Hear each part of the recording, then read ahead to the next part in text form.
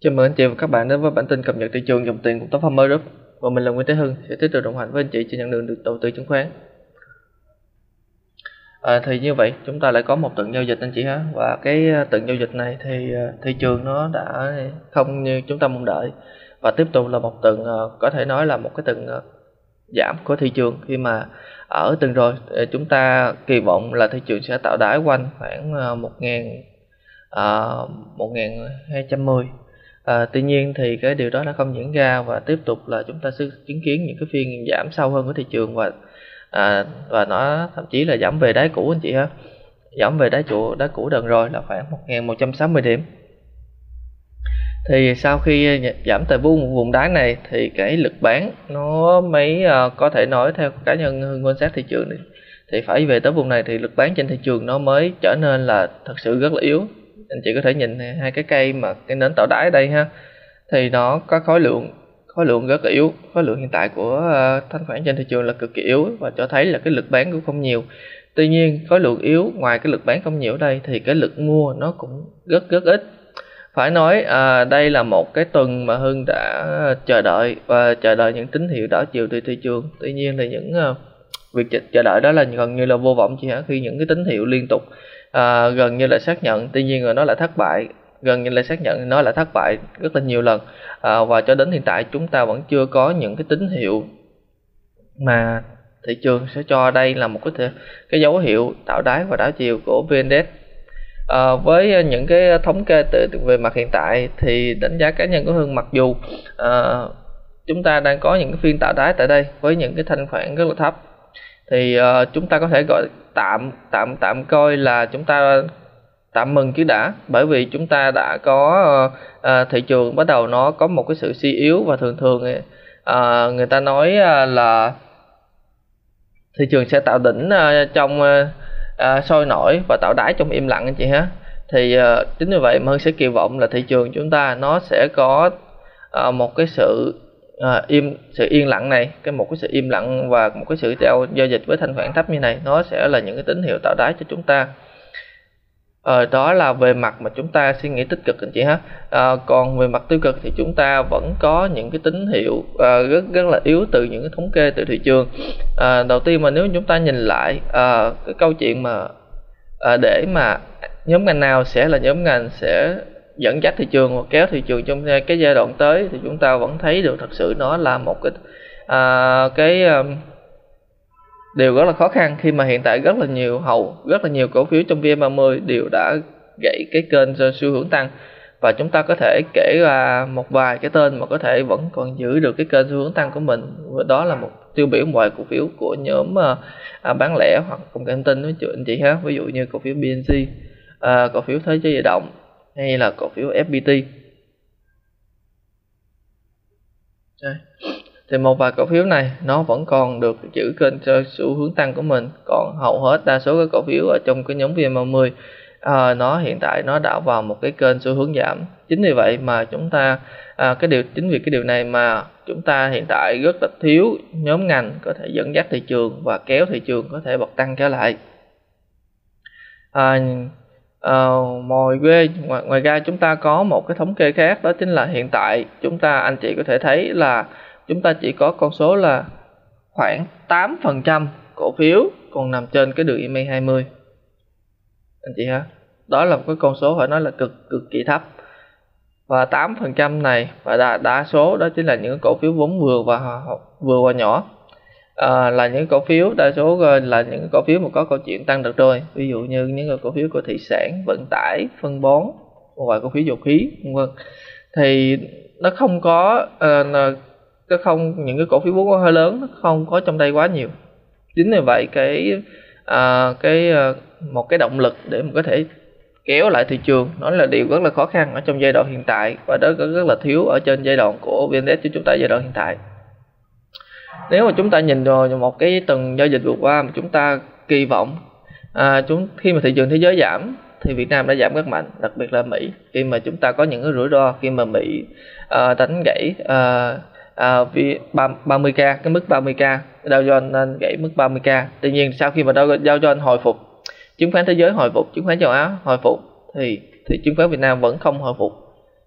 thì ờ, theo đánh giá cá nhân của Hưng thì nó có rất nhiều liên cái mới cái uh, yếu tố liên quan ở đây. À, đầu tiên đó đó chính là những cái câu chuyện về ngân ngân hàng nhà nước bắt đầu cái uh, rút rút dùng tiền.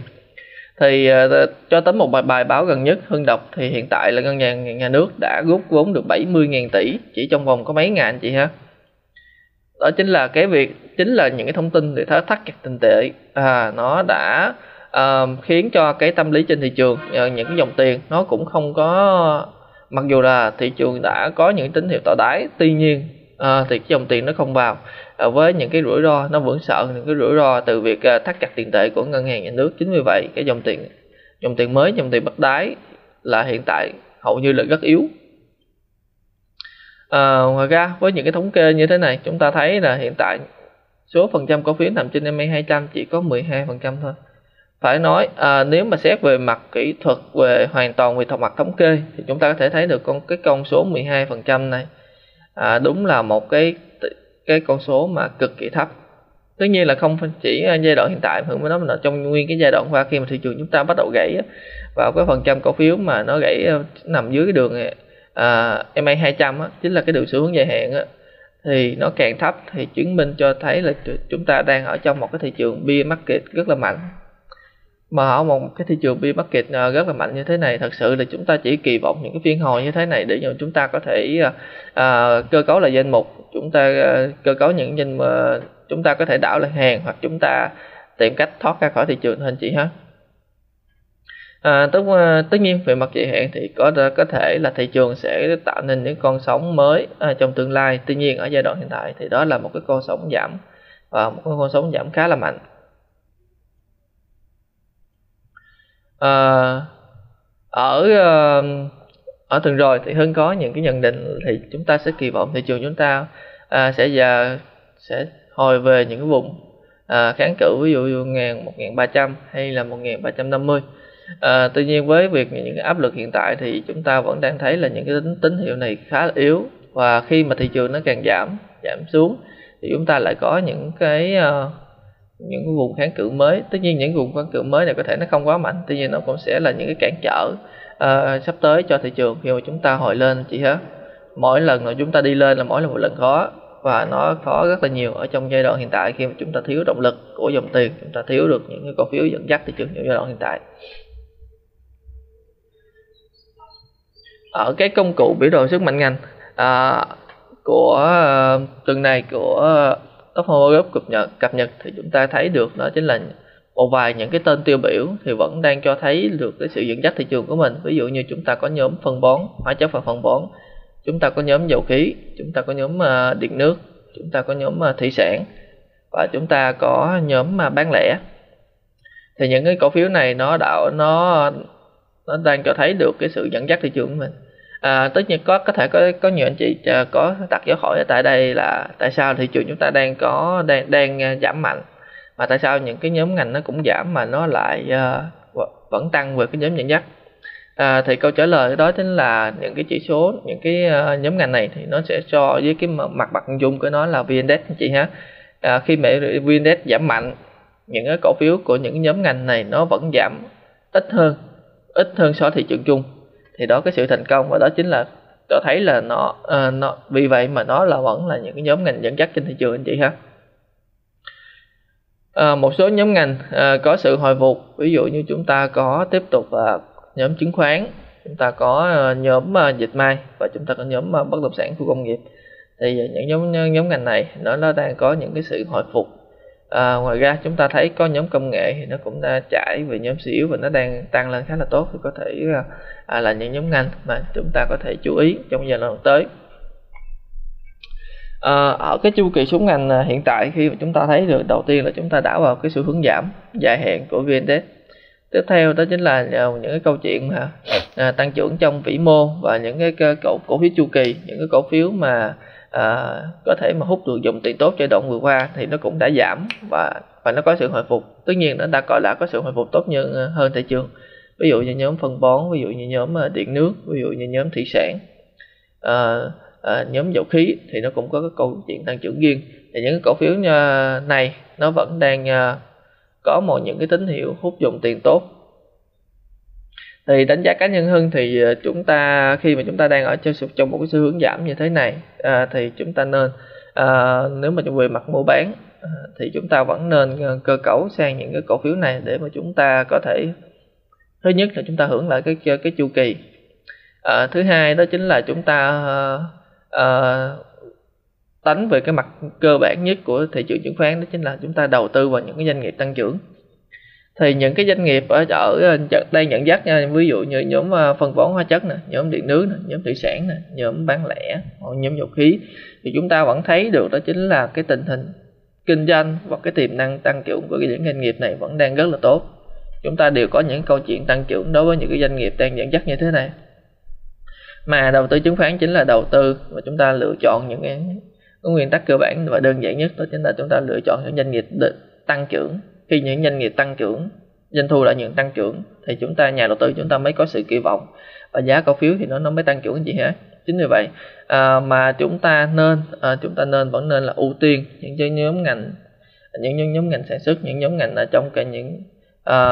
không chỉ là những cái nhóm ngành đây mà chúng ta ngoài chúng ta còn một số cái tên ví dụ như nhóm ngành à, à, dịch may cũng là những cái doanh nghiệp mà à, cũng có tình hình à, kinh doanh cũng là tăng là tăng trưởng mặc dù có những khó khăn về vĩ mô à, về thiếu nguyên vật liệu à, về à, xuất khẩu cái thứ tuy nhiên chúng ta vẫn có được đó chính là nếu chúng ta đọc vào những bài phân tích thì chúng ta vẫn thấy được thì những cái doanh nghiệp này chúng ta vẫn đang tăng trưởng khá là tốt.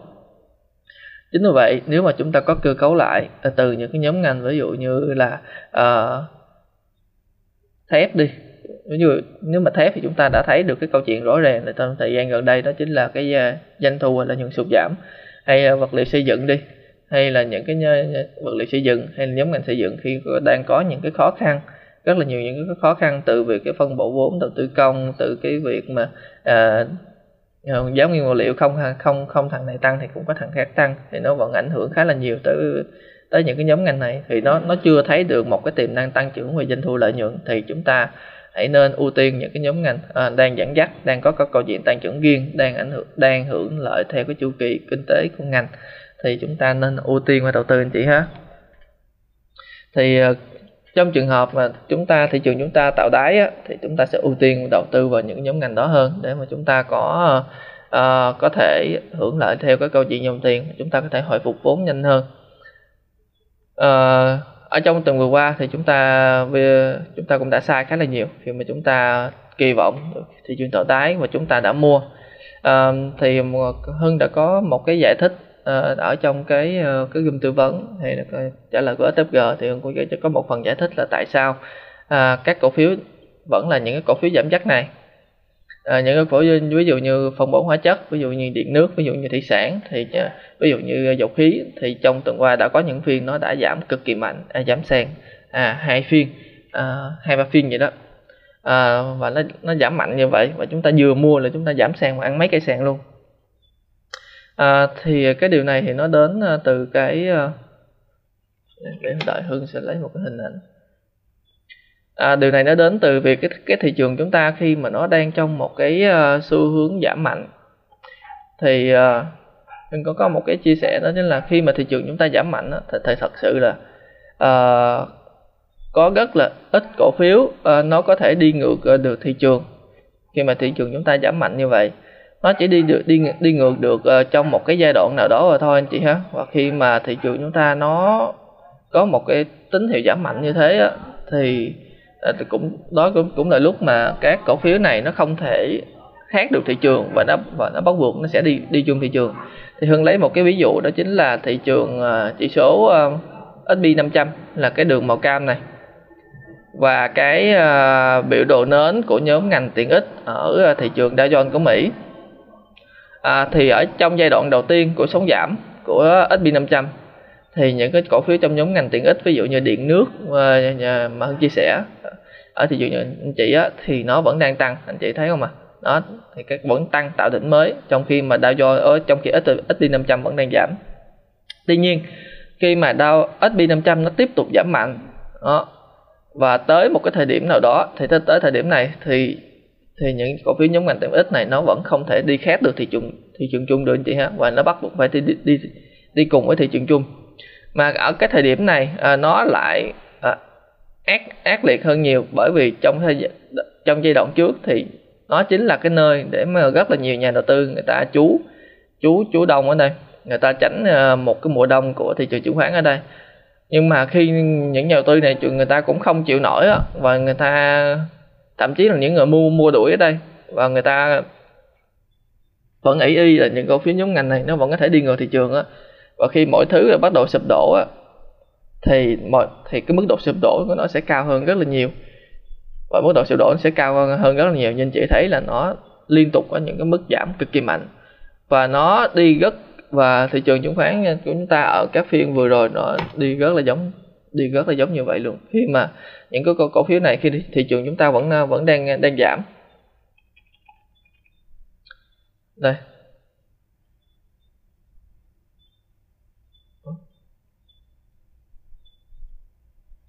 À, hơn nha chị đợi xíu nhé.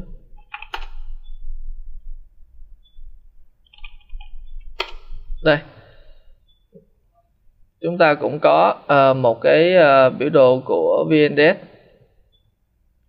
chúng ta có một cái biểu đồ của VN Index và chúng ta có uh, cái chỉ báo của cổ phiếu đại diện cho nhóm ngành thủy sản gì ha? Đây chúng ta vẫn đây khi mà thị trường chúng ta vẫn đang tiếp tục giảm thì cái nhóm cái nhóm cổ phiếu nhóm độc cổ phiếu nhóm ngành thủy sản đặc biệt là ANV vẫn đang tăng. Và nó Ờ, uh, nó dường như là nơi mà để rất là nhiều anh chị nhà đầu tư người ta tránh bảo và anh chị có thể thấy khối lượng giao dịch nó vẫn đang tăng cho rất là tốt trong giai đoạn vừa qua. Tuy nhiên mà khi đến một cái thời điểm mà đó mà vn chúng ta nó tiếp tục giảm và giảm mạnh thì đó chính là lúc mà à, những cổ phiếu này nó cũng không thể đi ngược thị trường được. Và nếu mà chúng ta mua ngay vào những phiên mà nó đã rét đỉnh như này thì đó chính là lúc mà chúng ta nhận cái đắng khi mà chúng ta chứng kiến được những cái phiên sập mạnh mà chúng ta không thể thoát hàng được khi mà chúng ta vừa mua một cái chính là chúng ta có những cái phiên giảm sàn liên tục. Và đó chính là cái mà uh,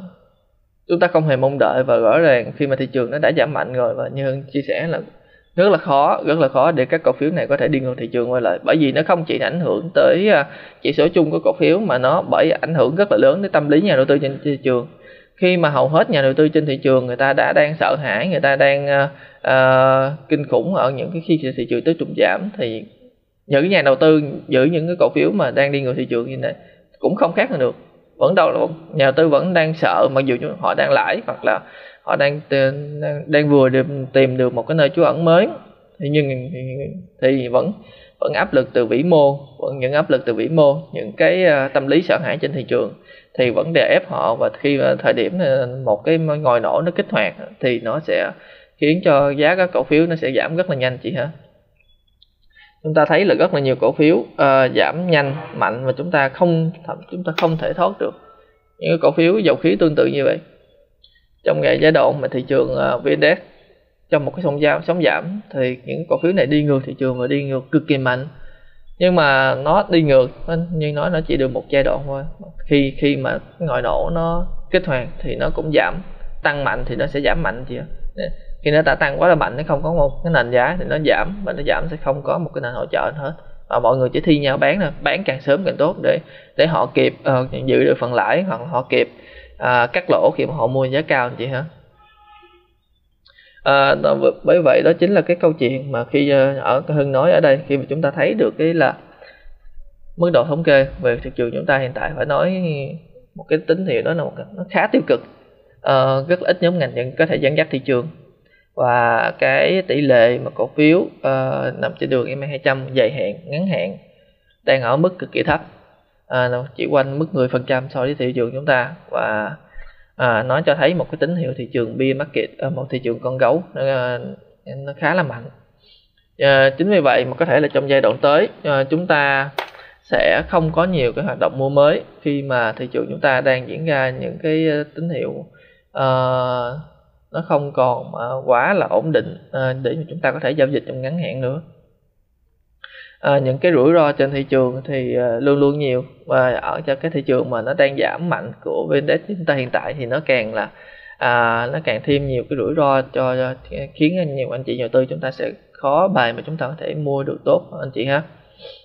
Thì ở giai đoạn hiện tại có lẽ là à, việc hành động chúng ta đó chính là uh, theo theo cá nhân hơn thì vẫn là khuyến nghị anh chị nhà đầu tư. À, nên à, nếu mà chúng ta cơ cấu thì chúng ta vẫn ưu tiên những cái nhóm ngành dẫn dắt những nhóm ngành có câu chuyện tăng trưởng và đang đi theo cái chu kỳ kinh tế như thế này. À, đang theo đi theo cái chu kỳ đều đi theo cái chu kỳ kinh tế anh chị ha.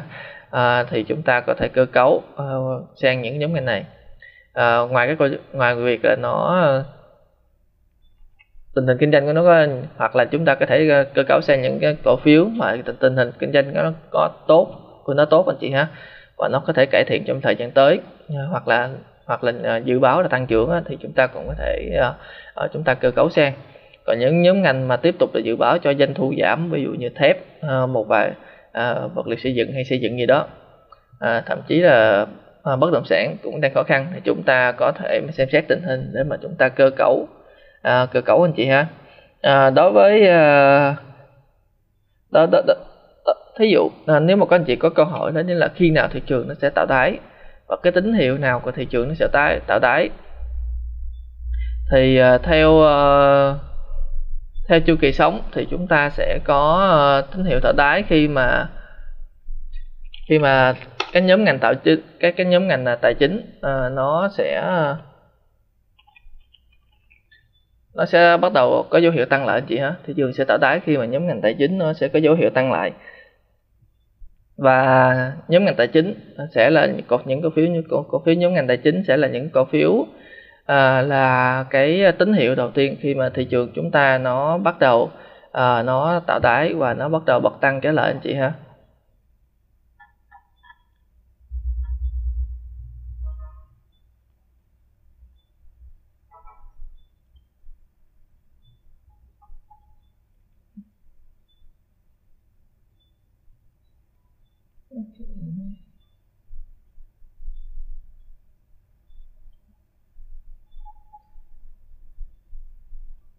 Đây. Chúng ta có à, một cái chu kỳ thị trường như thế này. À, ở giai đoạn hiện tại những nhóm ngành chăm sóc sức khỏe những nhóm ngành à, vật liệu tiêu dùng thiết yếu thì nó vẫn đang là những cổ phiếu à, ưu tiên ở trong giai đoạn hiện tại nhé khi mà chúng ta đang có một thị trường giảm. Khi mà thị trường chúng ta bắt đầu tạo đáy thì đó đó chính là lúc à, những cái cổ phiếu của nhóm ngành tài chính ví dụ như à, ngân hàng ví dụ như chứng khoán ví dụ như bảo hiểm và những cổ phiếu nhóm ngành bất động sản à, chính là những cái cổ phiếu nhóm ngành mà chúng ta sẽ quan tâm tiếp theo trong giai đoạn tới. Khi mà thị trường chúng ta bắt đầu tạo đáy anh chị ha. Đây à, thì đây chính là những cái dấu hiệu à, nếu mà trong khi mà chúng ta sẽ để ý trên thị trường à, tất nhiên câu chuyện hiện tại nó có thể là còn khá là lâu đó tại vì thị trường chúng ta chỉ nó mới, nó mới bắt đầu giảm thôi và nó cần một cái thời gian đi nghe à, có thể là ngừng giảm ngừng giảm rồi sau đó nó bắt đầu đi ngang tích lũy rồi sau đó thì nó bắt đầu có một, một cái chu kỳ tăng mới một cái chu kỳ tăng mới. Thì đó chính là à, lúc mà những cái cổ phiếu này nó sẽ đi lên. À, chúng ta nếu mà chúng ta kèm theo những thông tin vĩ mô thì đó chính là lúc mà thị trường mà ngân hàng nhà nước bắt tiếp quay lại một cái chu kỳ nới lỏng à, nới lỏng tiền tệ mới anh chị ha. À, tín dụng bắt đầu mở rộng thì đó chính là lúc những cái cổ phiếu của nhóm ngành tài chính và nhóm ngành là bất động sản nó sẽ bắt đầu là nó dẫn dắt thị trường và khi đó thị trường chúng ta tạo đáy anh chị ha. Và đó là chính là cái câu trả lời cho cho cái việc mà tín hiệu để mà chúng ta có thể xác nhận thị trường tạo đáy à, đó chính là những cái nhóm cổ phiếu những nhóm ngành này nó sẽ tăng trước với những cái tin với những cái kèm theo những thông tin vĩ mô là việc à, nới lỏng tiền tệ nới lỏng tín dụng anh chị ha. Um, ok thì uh, như vậy uh, ở tuần mới thì chúng ta sẽ tiếp tục kỳ vọng thị trường sẽ uh, có những cái sự hồi phục và chúng ta sẽ hy vọng thị trường tạo đáy tại đây anh chị ha